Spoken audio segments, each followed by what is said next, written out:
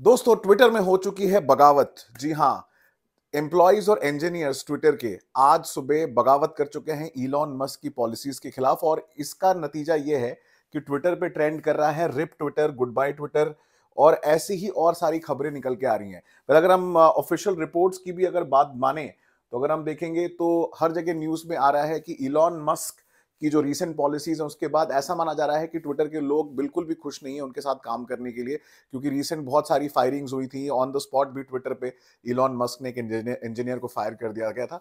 Well इसमें देखने लायक बात यह है कि इसमें एम्प्लॉयज़ को लॉकआउट कर दिया गया है, क्योंकि जब तक ट्रांजेक्शन होगा, उनके आईडी कार्ड्स जो है बैजेस को बंद कर दिया गया और इस वजह से ट्विटर ऑफ़िस वर्ल्ड वाइड इस समय शटडाउन पे हैं।